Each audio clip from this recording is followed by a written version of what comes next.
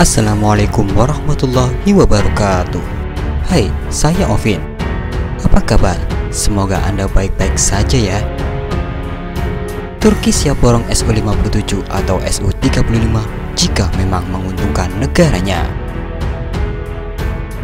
Parlemen Turki mengatakan jika ada syarat yang menguntungkan, Turki bisa membeli SU-57 Rusia.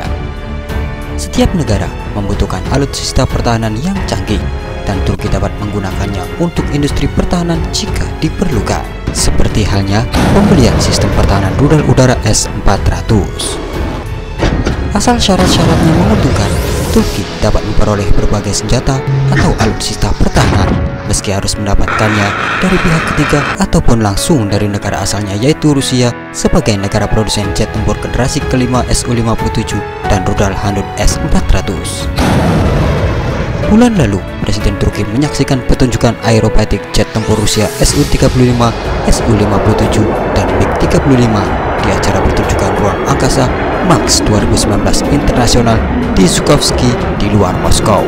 Seraya mengatakan Su-35 dan Su-57 calon kuat pengganti jet tempur F-35 yang telah diblokir pengirimannya oleh Washington gara-gara pembelian S-400 Rusia. Walhasil, Turki pun dicoret keikutsertaannya dalam proyek jet tempur prestisius F-35 di permulaan tahun ini lantaran pembelian S-400 yang dianggap sebagai ancaman keamanan intelijen oleh Amerika Serikat. Turki menganggap keputusan AS itu telah melanggar hukum dan mengecamnya. Bahkan, pembelian S-400 Rusia itu memunculkan desakan dari parlemen AS agar Trump menjatuhkan sanksi terhadap Turki. Apakah Turki diam saja? Tentu saja tidak.